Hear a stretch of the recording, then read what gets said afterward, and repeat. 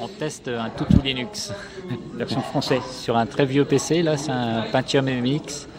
Et on arrive à faire fonctionner euh, un Linux dessus. Là. Bah, on essaye de s'évertuer à faire fonctionner cette clé 3G pour qu'elle reçoive les SMS. Elle sait en envoyer, elle ne sait pas en recevoir. Donc elle est à moitié inutile.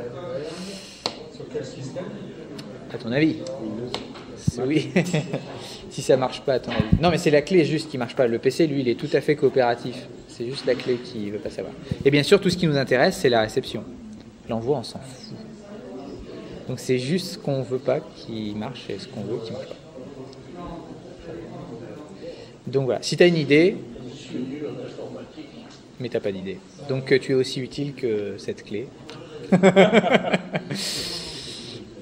Sauf que toi, c'est l'inverse. En réception, c'est très bien, mais en émission, ça, ça déconne complètement. Donc voilà. Non, c'est une histoire de fou, euh, je comprends pas non plus. euh. Ouais. Chaque fois qu'on arrive ici, euh, un Je sais écosystème. Je suis en train de développer un jeu vidéo en Java en partant de rien depuis une demi-heure. J'espère avoir fini avant ce soir pour que tout le monde puisse le tester. Euh, sur Bilic. En ce moment. C'est notre nouveau serveur. J'arrive pas à installer euh, la version euh, 10, euh, 11.10 de, de, de Ubuntu dessus. Je, je sais pas trop pourquoi. Est-ce que tu as fait un nettoyage? Euh, ouais, il y a- on l'a formaté et tout. Et, je sais pas. Il y a des traces. Ouais, mais ça c'est parce qu'il y avait Windows avant. Tu es passé euh, du côté de la force. Pourquoi? Parce que je suis passé à Windows? Sous un système propriétaire, Ouais. j'aime pas trop ça. C'est honteux, ouais, je veux pas me faire filmer par ça. Hors de question. Je teste une petite distribution qui s'appelle Voyageur et qui est une, euh, comment je dirais, qui est basée sur euh, XFCE. C'est une autre façon, une autre approche de Ubuntu, si tu veux, avec euh, plus convivial, si on veut. Mais comme je suis à mes débuts, alors je tâtonne. Je te dirai la suite la prochaine fois, quand j'aurai un petit peu avancé. Rien du tout. On refait le monde. Je pense qu'il doit être daté- de fin 2009. 2009, quelque chose comme ça. Euh, je sais pas, je viens de, je viens de, en- je viens d'en hériter de ce PC en fait. Il n'y a plus Windows, non.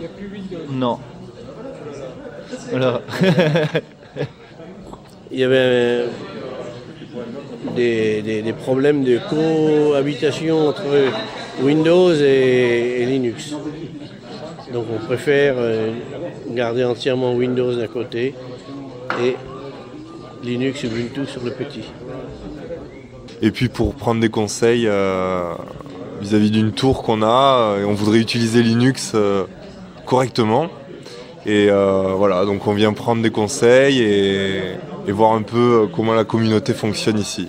Parce qu'en fait, tu as, deux partitions principales. Celle-là où il y a Windows. Et celle-là en pointillé, là, qui est une partition logique, euh, étendue, pardon, qui dedans contient des partitions logiques.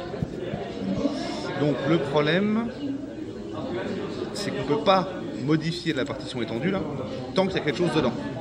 C'est juste un appel euh, par derrière en fait qui est fait. Euh, on appelle ça en Ajax, qui fait en fait que ça appelle discrètement le serveur derrière et si jamais il y a des nouveaux messages, ils viennent s'ajouter par le dessus. Mais la page n'est pas rafraîchie entièrement. Donc si jamais tu fais un scroll, il faudra que tu te méfies avec ça. Ce n'est pas des systèmes d'exploitation, c'est l'interface graphique GNOME. Pour une machine qui a 400 mégas, c'est pas adapté. C'est pas adapté, non. Surtout le nouveau GNOME d'Ubuntu, tu vois, qui est euh, qui, qui demande une machine qui a quand même un giga. D'accord.